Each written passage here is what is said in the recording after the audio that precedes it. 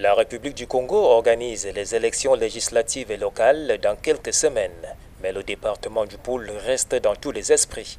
Binsamo Frédéric, alias Pasteur Toumi, cherche à déstabiliser la zone pour des raisons inavouées. Nous disons que rien, alors rien, ne peut justifier la barbarie que le pasteur Toumi et ses troupes sont en train euh, d'exercer et de réaliser dans ce département du Pôle.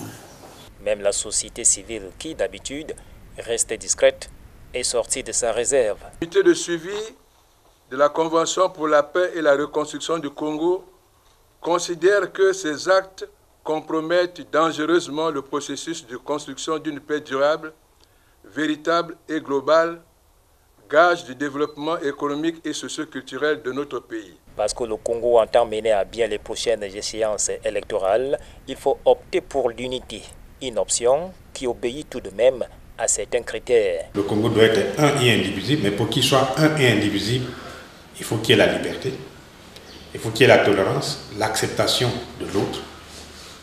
C'est ça, la division du pays ne peut venir que de l'intolérance, du refus d'accepter l'autre du refus de comprendre l'autre et du refus de nous asseoir ensemble pour discuter pour un qui concerne le Congo. Du coup, des forces de sécurité ont été déployées dans le pôle, ce département qui fait couler beaucoup d'encre et de salive.